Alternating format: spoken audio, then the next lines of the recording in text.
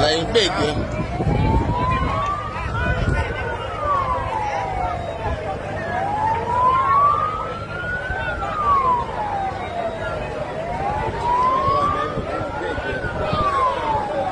Vai pra ter um beijo na rua. Vai pra ter um beijo.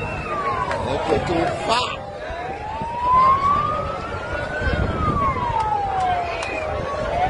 Thomas.